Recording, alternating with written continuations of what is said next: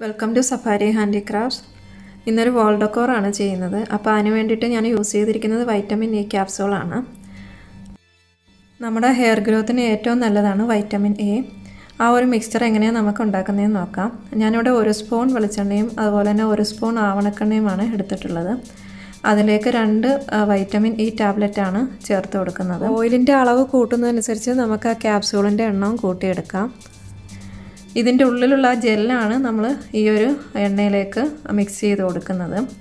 അപ്പോൾ ജെല്ലെടുത്തതിന് ശേഷമുള്ള ഈ ക്യാപ്സൂൾ നമ്മൾ സാധാരണ കളയുകയാണ് ചെയ്യുന്നത്.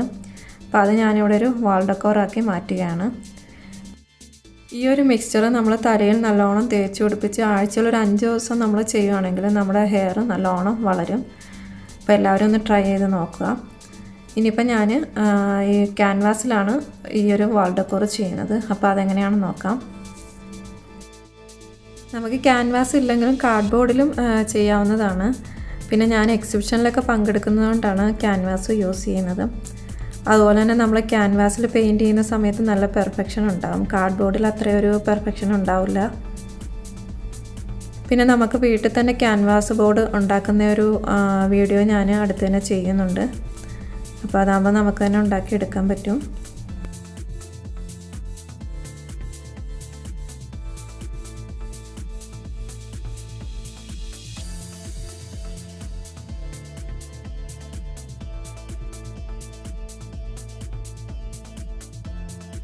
ഇത് ഈന്തപ്പഴത്തിന്റെ കൊലയാണ്. അപ്പോൾ അത് നല്ലോണം ഡ്രൈ ആക്കിയതിന് ശേഷമാണ് ഞാൻ ഇതിന് യൂസ് ചെയ്തിരിക്കുന്നത്.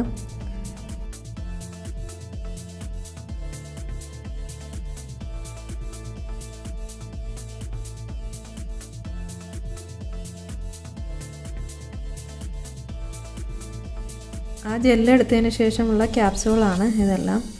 ഇപ്പോൾ സാധാരണ എല്ലാവരും ഇത് യൂസ് ചെയ്യുന്നുണ്ട്. സ്കിൻ കെയറിനും ഏറ്റവും നല്ലതാണ്. ഒരു ആന്റി ഓക്സിഡന്റ് കൂടിയാണ്. അപ്പോൾ ഇനി വൈറ്റമിൻ ഇ ക്യാപ്സൂൾ യൂസ് ചെയ്യുന്നവരാരും ആ ഒരു ജെല്ലെടുത്തതിന് ശേഷമുള്ള ക്യാപ്സൂൾ ഇനി കളയണ്ട. നല്ല അടിപൊളി വാൾഡക്കോർ നമുക്ക് ചെയ്തെടുക്കാൻ പറ്റും. ഈ ഒരു രീതിയിലാണ് ഞാൻ അറേഞ്ച് ചെയ്തിരിക്കുന്നത്. അപ്പോൾ ആ ഫ്ലവർ ഉണ്ടാക്കിയിരിക്കുന്നത് അത് നമ്മളൊന്ന് പ്രസ് ചെയ്ത് കൊടുത്താൽ മതി. അപ്പോൾ ആ ഫ്ലവറിന്റെ പെറ്റലിന്റെ ഷേപ്പിൽ കിട്ടും. ഇനി നമുക്ക് ഇതിലേക്ക് കുറച്ച് ഈ സ്റ്റിക്കും കൂടെ വെച്ച് കൊടുക്കാം. ഈന്തപ്പഴത്തിന്റെ ആ സ്റ്റിക്കൊന്ന് കട്ട് ചെയ്ത് അതിൽ ആ ഈന്തപ്പഴത്തിന്റെ ഞെടുപ്പുണ്ട്. അപ്പോൾ അതിലേക്കൊന്ന് റെഡ് കളർ പെയിന്റ് കൊടുത്തിട്ടാണ് ഞാൻ ഇതിലേക്ക് സ്റ്റിക്ക് ചെയ്ത് കൊടുക്കുന്നത്.